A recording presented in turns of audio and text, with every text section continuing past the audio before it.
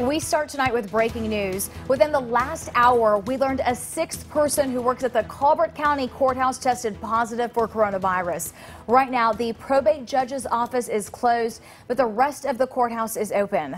This afternoon, the U.S. surpassed another milestone in its battle against the virus. The total number of cases since the pandemic began has surpassed 10 million. The U.S. not only has more reported cases than any other nation in the world, but also the outbreak is spreading faster than ever. It only took 10 days for the U.S. to add another 10 million, or rather another million cases. Alabama added 980 new cases within the last 24 hours. There are now close to 174,000 confirmed cases and another more than 31,000 probable cases. Close to 2,900 people have died from the virus. Thank you for joining us. I'm Naja Sherman. And I'm Dan Schaefer. We're going to straight to WAAY 31's Brecken Terry now. She's live outside the courthouse after speaking with several county officials about this recent outbreak in cases. Brecken.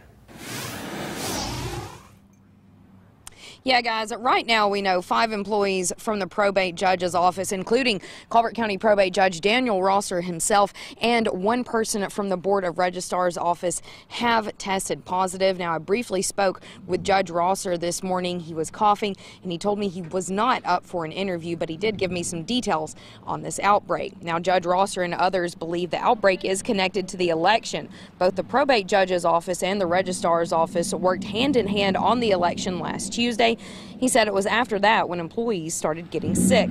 County Administrator Roger Creekmore said everyone who is sick did work the election and they're keeping an eye on other departments in the courthouse, but believe this is isolated to these two departments. Now, Creekmore also told me that they do have these large UV uh, lights that are inside of the courthouse that are used to disinfect areas. They've got hand sanitizer and other cleaning methods as well. He told me right now uh, there are no conversations between county commissioners uh, about closing the courthouse. So that is what we know right now. The courthouse is going to stay open, but the probate judge's office for now is closed. Live in Tuscumbia, Brecken Terry, WAAY 31 News.